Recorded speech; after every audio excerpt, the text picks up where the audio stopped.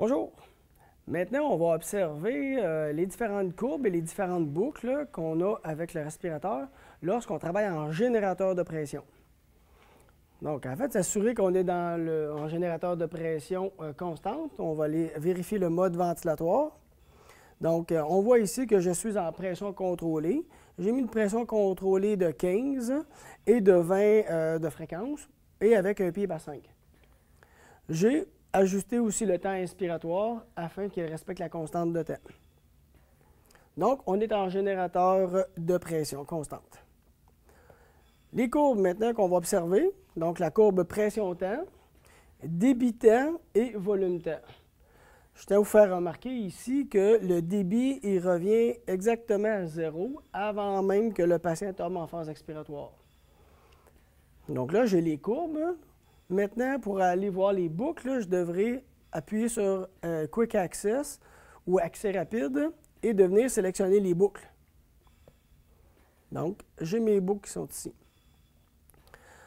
Donc, euh, lorsque je suis en générateur de pression constante, ce qu'on observe, c'est une courbe de pression carrée. Donc, la pression est rapidement euh, atteinte à la valeur que nous avons prédéterminée et elle est maintenue tant ou aussi longtemps que euh, le, temps inspiratoire a été ajusté. On voit ici que sur la courbe maintenant débit-temps, le débit augmente très rapidement au début. Il faut se rappeler, l'objectif, c'est de générer une pression.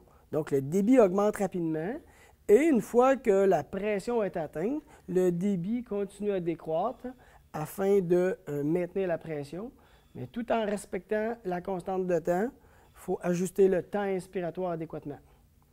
Par la suite, dans la courbe volume-temps, on voit que le volume a augmenté de façon presque graduelle et une fois que l'inspiration a été terminée, le volume a diminué de façon graduelle. On se rappellera toujours que l'expiration se fait de façon passive.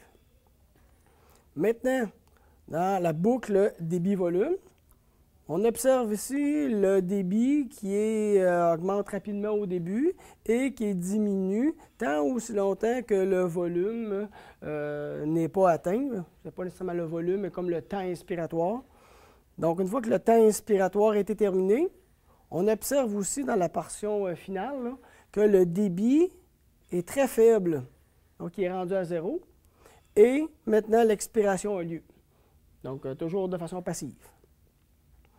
Maintenant, sur la courbe pression-volume, donc la fameuse courbe de compliance, donc on voit ici que le départ ne se fait pas à zéro, mais bel et bien à notre valeur de pipe, qui était de 5 cm d'eau. Et rapidement, la pression augmente. Encore là, en lien avec les résistances euh, du tube endotrachéal et des voies aériennes du patient. Et par la suite, on voit que la pression, elle est maintenue. Donc, la valeur de pression, elle est maintenue tant et aussi longtemps que l'inspiration n'est pas terminée. Donc, en fonction du temps inspiratoire. Et une fois que le temps inspiratoire est terminé, c'est l'expiration qui débute, encore là, de façon passive. Ce qu'on est capable de faire aussi avec ce respirateur-là, c'est ce qu'on appelle un ghost, ou du moins d'enregistrer les courbes, les boucles que nous avons présentement. Donc, avec la fonction ici, lorsque j'appuie, on va voir apparaître en plus pâle, donc les, boucles que nous avons présentement.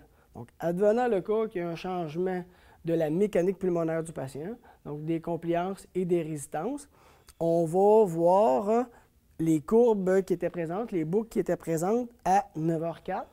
Donc, euh, lorsque je vais revenir dans quelques heures, on va voir les modifications s'il y en a. Donc, c'est euh, l'étude qu'on va faire euh, des différentes courbes et boucles.